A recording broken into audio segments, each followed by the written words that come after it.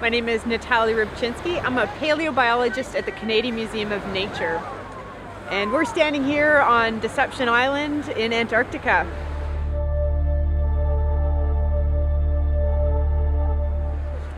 So this expedition is a really great opportunity for the students and it's a really interesting collaboration between the Canadian Museum of Nature and also Carleton University.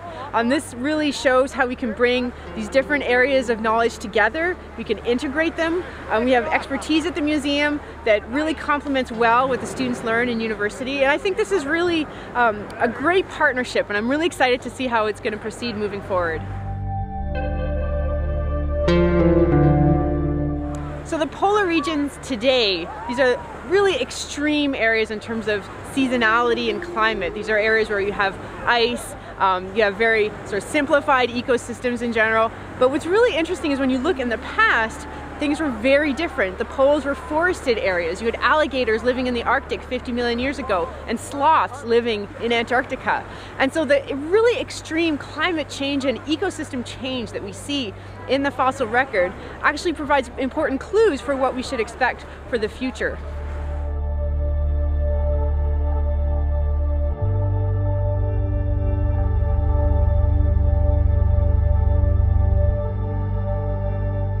Here we are on Seymour Island and we are exploring the sediments, the deposition surrounding the KT boundary and in fact also the KT boundary layer itself is probably within this unit of rocks. Um, we've been finding lots of indication of um, a lot of changing environments. We have different kinds of fossils that we're finding here, some, some sea urchin materials, some fossil wood, um, evidence of, of, a shallow marine setting. And so this is all very consistent with what we've been reading in the literature in terms of what we should expect to find here. And, and it's all here and we really weren't sure we were going to find it, but we're pretty happy that we have.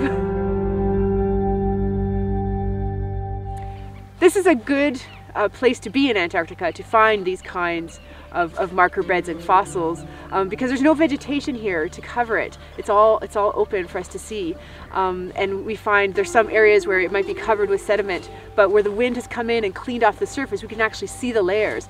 And so in that way, this is similar to other places where we've worked before, you know, whether it be in, in desert areas or, or in the high Arctic. Um, so there, there are similarities, there's a familiarity to it, but at the same time, we're, you know, we're in a part of the world that is, uh, is pretty unique. Um, so it's pretty exciting to be here.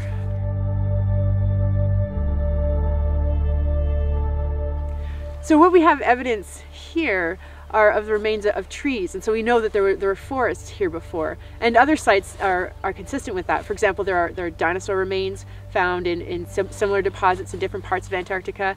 Um, after the, the KT extinction event, um, after the dinosaurs' demise, we have a rebuilding of the ecosystem.